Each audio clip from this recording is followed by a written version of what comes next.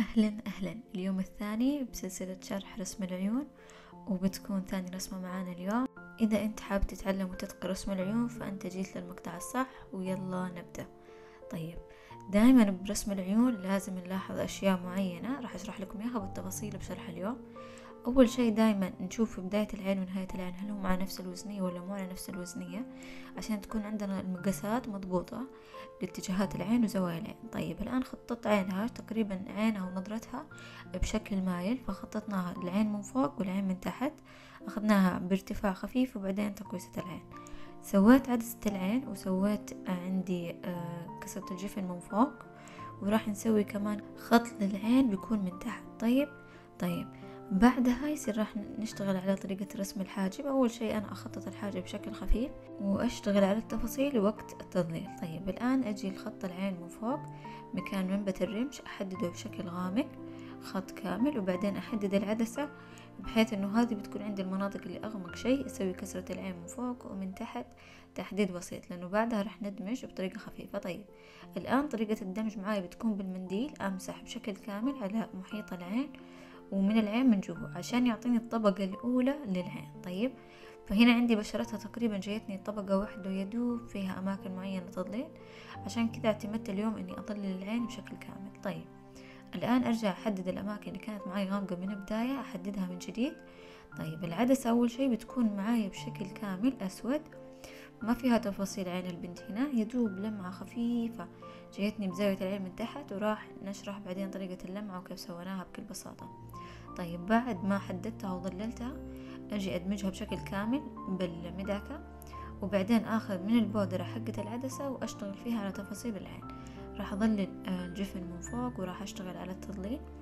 أي مكان عندي بيكون فيه زي محيط لمعة ناعمة وتظليل ناعم راح أشتغل عليه بالفرشة لأنه زي ما قلنا الفرشة دائما تعطينا تظليل نظيف وناعم. حرفيا الناس تحب الرسم الناعم. فالفرشة تنفع لكم مرة تنفع لكم تظليلها يفوز. طيب الآن أكرر تضليع على العدسة مرة ثانية لأنه كل ما دمجنا يخف حدة العين. الآن أدمج العدسة من جوا بالمدعكة وبعدين أستعين بالفحم اللي من ال... من عدسة العين اللي صار معي جوا المدعكة. أسوي فيه الأماكن بتكون عندي غامقة بحيث ما يكون تأثيرها بقلم حاد ومباشر. لا نبغاه يكون آه، بشكل ظل. نبغى رسمة اليوم كل أبوها تعتمد على التظليل يعني ظل ونور ما نبغى خطوط أساسية واقعية لا نبغى أشياء بطلة وحلوة ونظيفة. طيب رجعت دمجت بالمنديل وقلت لكم منديل مرة يفوز فعليا مرة مرة يفوز بالدمج. وبعدها أكرر آه، طبقات. نشتغل على طبقة طبقة يعني عرفتوا على حبة حبة ما ناخذها مرة واحدة لا. طبقات لما نشتغل على الطبقات يعني على نظام الطبقات راح يعطينا تظليل ناعم يعطينا رسمة واقعية أكثر. طيب حددت المدمع العين بعدين رجعت أظلل من جديد في الفرشة لأنه تظليلها بيعطيني درجة أنعم. يعني حتى لو كانت الطبقة حادة راح تخليها ناعمة أكثر يعني حتى لو كانت معي درجة غامقة شوي. طيب الآن راح نشتغل على رموش طيب فيكون عندنا دائما ننتبه إنه القلم يكون مبرز طيب رموش البنت نازلة على تحت. كون نظرتها مو مرة يعني مرفوعة لفوق لا كذا مايلة ونازلة على تحت شوي. فبتكون عندي الرمش نازلة على تحت وما راح تكون طرفها من البداية واضحة معي بزيادة. من تحت نفس ما اتفقنا تكون مفرقة.